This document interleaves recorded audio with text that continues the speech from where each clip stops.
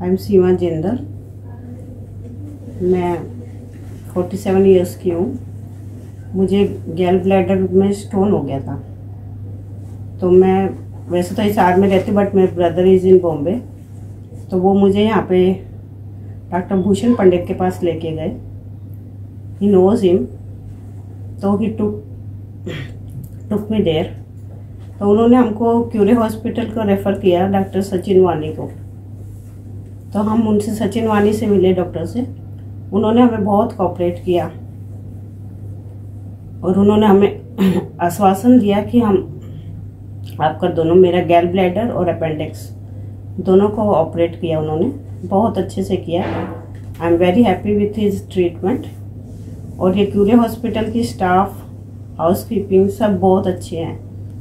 बहुत केयरिंग है। I am very thankful to them